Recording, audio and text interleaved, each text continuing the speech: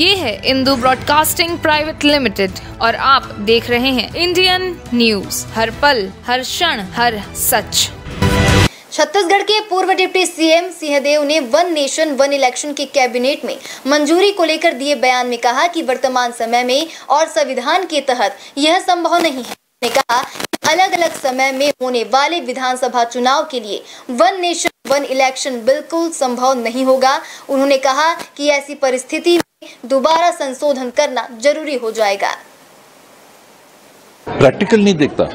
आज के समय से और आज के संविधान की जो व्यवस्थाएँ हैं उसके तहत ये प्रैक्टिकल है, संभव ही नहीं है। प्रैक्टिकल की बात ही नहीं है, ये संभव ही नहीं है।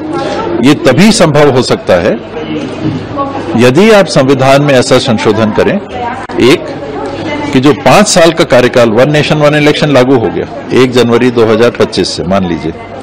अब पूरे देश की विधानसभाओं का और देश की लोकसभा का इलेक्शन एक साथ होगा। पाँच साल के लिए वो चलेंगी सरकार। दो साल बाद सरकार गिर जाती है कहीं की, किसी राज्य की या केंद्र की सरकार दो साल बाद गिर गई। आज संविधान का प्रावधान है कि सरकारें पाँच साल के लिए चुनी जाएँगी। 2025 को चालू किया।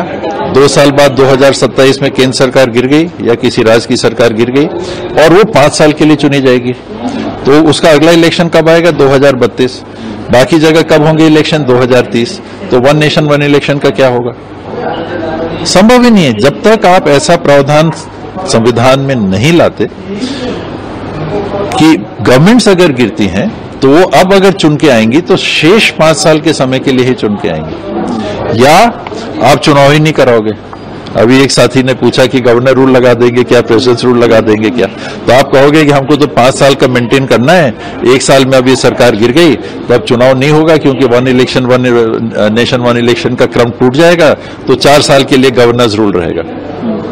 चार साल के लिए प्रेसिडेंट्स रूल रहेगा। और संविधान के, उस प्रावधान का क्या होगा जो कहता है कि छह महीने में आपको चुनाव कराना ही है रिक्त स्थान में।